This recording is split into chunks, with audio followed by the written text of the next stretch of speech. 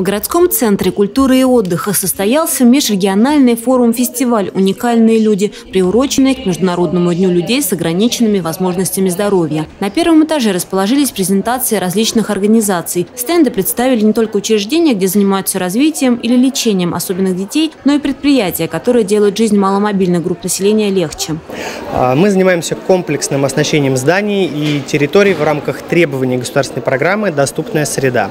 В комплекс адаптации входит адаптация для слабовидящих людей, для слабослышащих, для инвалидов-колясочников, для инвалидов-опорников э, и, соответственно, для любой категории маломобильных групп граждан и для всех людей с особенностями в их развитии.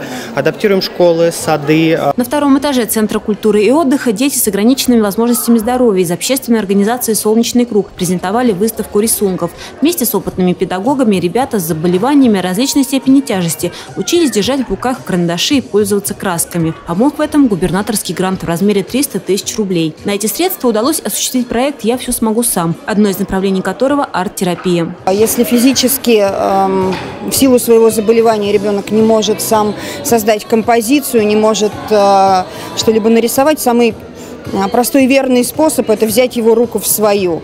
Вы знаете, если сигнал не идет от мозга к мышце, он пойдет от мышцы в мозг.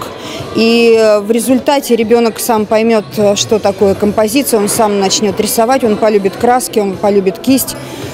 А, у него станет э, тверже работать рука, он начнет писать Форум-фестиваль «Уникальные люди» на региональном уровне состоялся впервые, хотя на самом деле идея проекта возникла еще 10 лет назад. За это время форма мероприятия менялась, но суть оставалась одной – уделить максимальное внимание проблемам особенных людей. С сегодняшнего дня он а, перешел уже в площадку, которая имеет э, дискуссионное такое а, направление, то есть люди не только приходят посмотреть на уникальных людей, которые мы награждаем на большой сцене, которые выступают сами на большой сцене, сцене, но и имеют возможность поделиться опытом а, в части работы с людьми с ограниченными возможностями здоровья.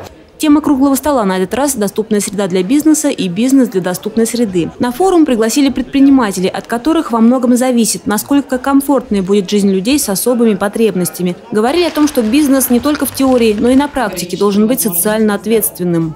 Говоря именно о доступности, так вот, к сожалению, мы не видим тех условий, которые э, должны быть.